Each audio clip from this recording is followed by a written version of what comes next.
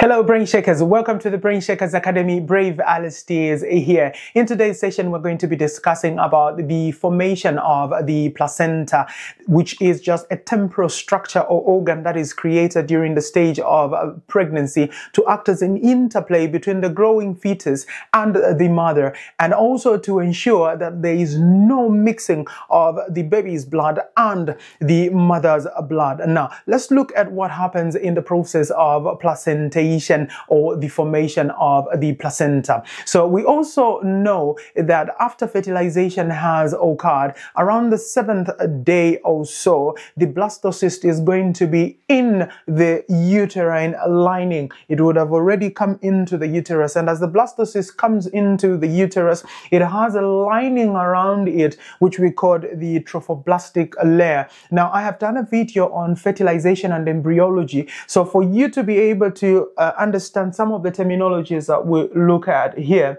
it is also important to just quickly look at that particular video on fertilization and embryology, and you can find it on the Brain Shakers Academy. Now, once the blastocyst has come into the uterine lining, what happens now is that that blastocyst will try and embed itself straight into the endometrium and completely bury itself. Now, as it is burying itself, you have the trophoblastic layer. Now, importantly, with the trophoblastic layer, you have two main layers, one which is the cytotrophoblast, and the second one is the syncytial trophoblast. Now, the cytotrophoblast is the one that is inside and then on the outside you have a layer that we called the syncytial trophoblast. Now the syncytial trophoblast is the one that is going to come into contact with the endometrial lining. Now as it comes into contact with the endometrial lining there will be projections that are going to form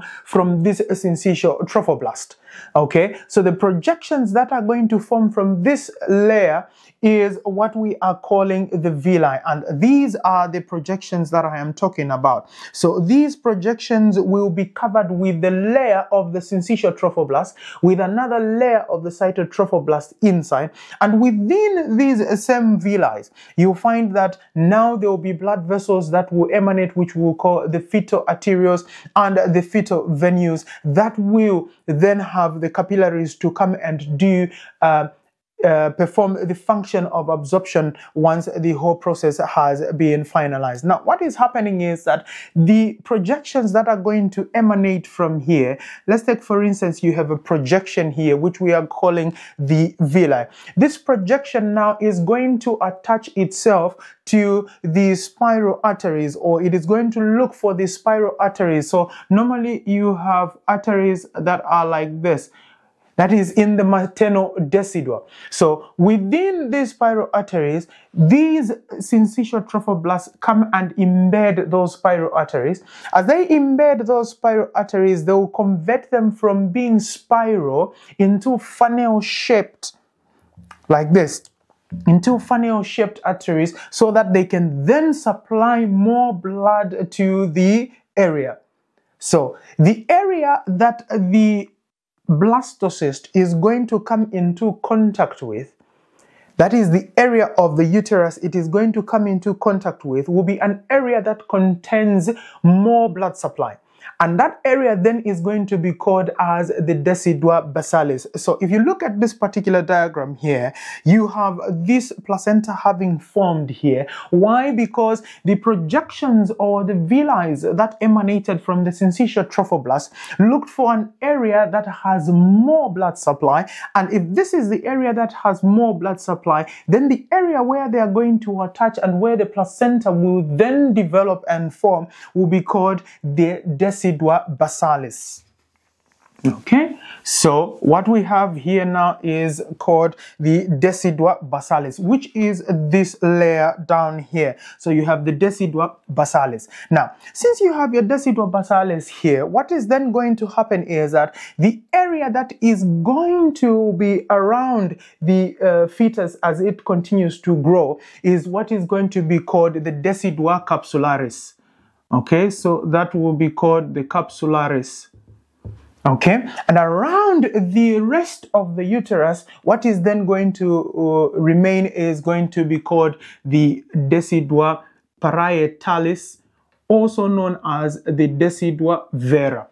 Okay, we'll come back to this after we have finished uh, around here. Now, what happens is that these villi are then going to continue to embed those spiral arteries so that more blood supply is going to come into the area. And as they continue to embed into the um, maternal blood supply, what is also going to happen is that some of the villi are going to anchor and attach to the endometrium. And as they anchor and attach to the endometrium, those villi now become what are known as an anchoring villi. Now, some of the villi are not going to anchor into the endometrium and will remain floating where the blood supply continues to come, where you have formed a leg of maternal blood supply by those penetrating uh, villi. So there will be blood here and some of those villi will keep on floating. And where they are floating, it allows them then to absorb the relevant nutrients and oxygen that will then be channeled through the vein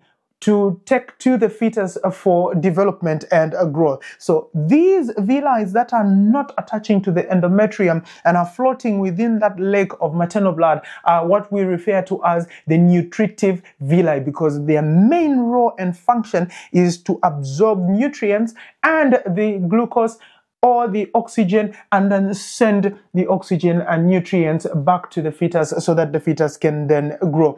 And in the same vein, again, once everything has been utilized by the fetus, the fetus will excrete its waste through the umbilical arteries back to the villi again. And then you have the veins here, which are the maternal veins, which are the endometrial veins. Now, these endometrial veins, again, will get that, send it into maternal circulation. Maternal circulation then processes it, reoxygenates it, and then brings back oxygenated blood again through the endometrium arteries.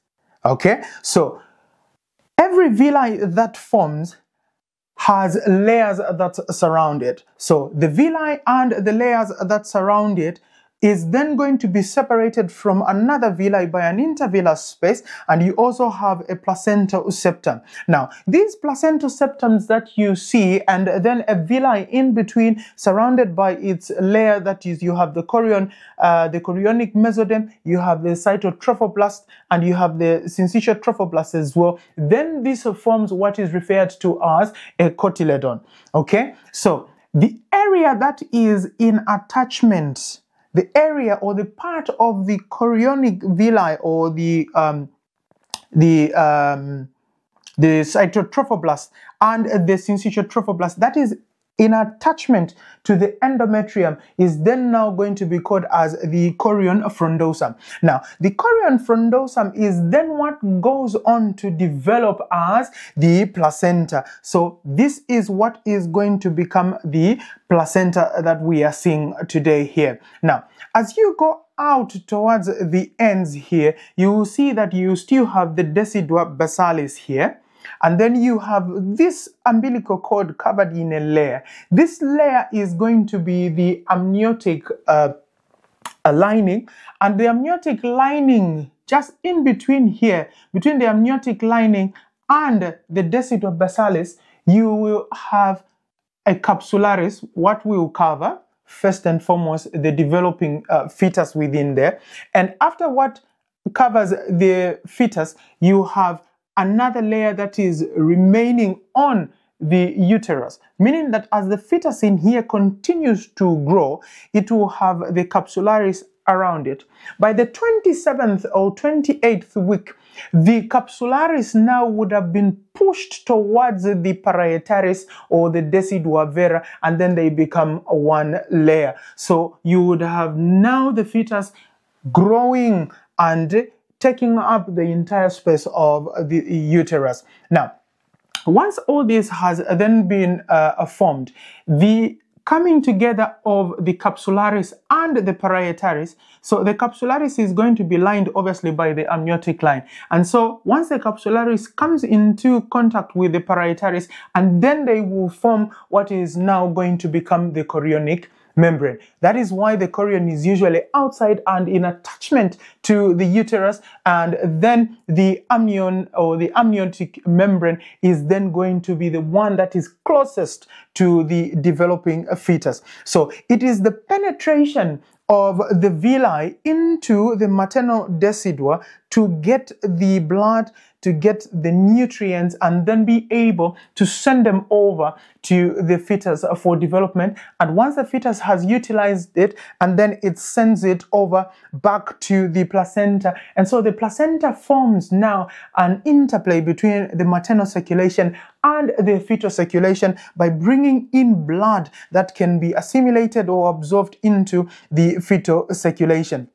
Now, having said that, the blood flow that comes into the placenta is going to be moving at a slower pace. Why? This is to allow the villi to be able to absorb the nutrients and the oxygen. Now, what is going to happen for the maternal circulation not to come into contact with the fetal circulation? So you have a villi here, and within the villi here that has been created, remember we said that the villi will only be formed because of that projection that forms out of the syncytial trophoblast. So on top you have a syncytial trophoblastic layer.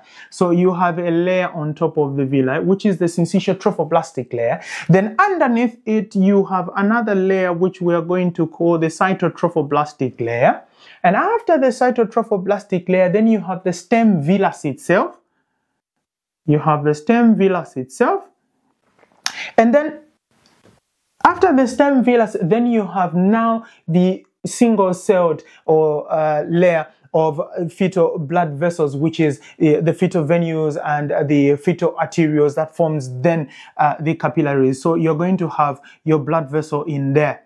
So it is these four layers now that form that are going to make it impossible for the maternal circulation to come into contact with the fetal circulation. However, there are certain chances when the villi has been damaged, and this could happen in conditions such as diabetes mellitus, in hypertensive uh, cases, in also cases such as uh, heavy smoking as well. They could alter the uh, functionality of the villi. Then the chances of of fetal maternal hemorrhage then increases. And that is why even when you have trauma, there are chances that you could also cause damage to the villi. And that's why those that are rhesus negative mothers and they have a positive predicted um, um, uh, baby, then they may end up receiving what you call an anti-D immunoglobulin just to help in preventing them from developing any antibodies for that particular pregnancy and also in a successive um, uh, pregnancy in succeeding pregnancies as well. So the villi plays a key role in ensuring that